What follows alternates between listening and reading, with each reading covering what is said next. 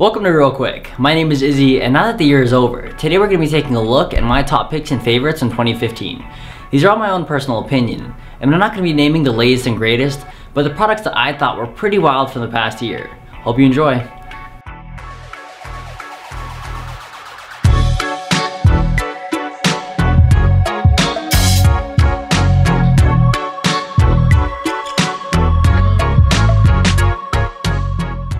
First off is my favorite atomizer of the year, the Indulgence Mutation X V4. With one of the easiest build decks to use, so installing dual coils is a breeze. That's not really it either. It took my favorite under the coil airflow from the Freak Show, their own Cyclone airflow, and put them together to make a flavorful, intense vape with the option to blow wild clouds.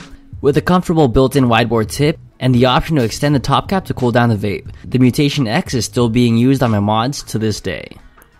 Next up on my best of 2015 is my favorite mod of the year. This was a tough one, as there were a ton of good mods this year.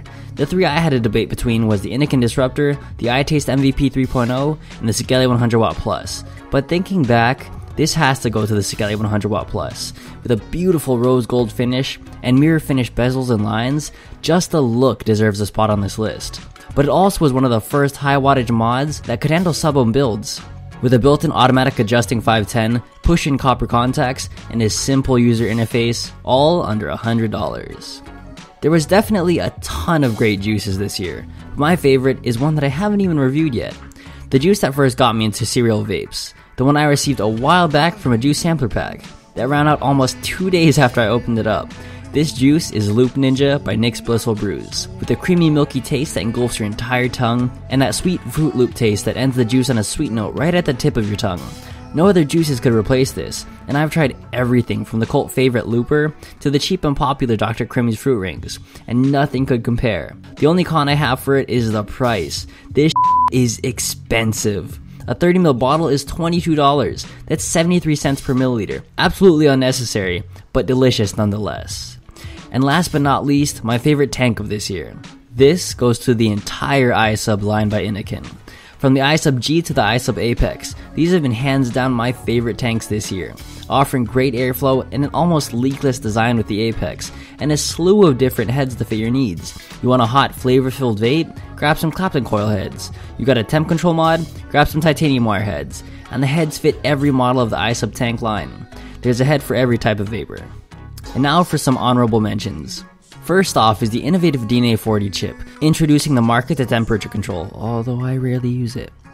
The Innokin Disruptor, one of the first modular devices, with micro USB charged swappable LiPos and support for upcoming swappable chips. Whether you want a different color scheme or you just need a bigger battery, all you had to do is slide a different LiPo on and you're set. Such a wild and well executed idea. Once again, thanks for watching. Subscribe and like for more. My name is Izzy, and this was Real Quick Now I've got a bunch of shoutouts and thank yous to all the people that supported the channel this year. Thanks to Angel Sigs, Victor Din, Adrian from V Park, Joe Brown from Fumi Vapor, Troy G from DebutaVapes.com, the guys over at Cloupor.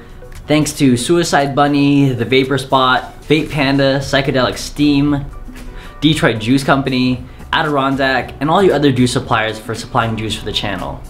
Huge thanks to Jay Torres from evcigarettes.com and Innokin for supplying a ton of stuff for review.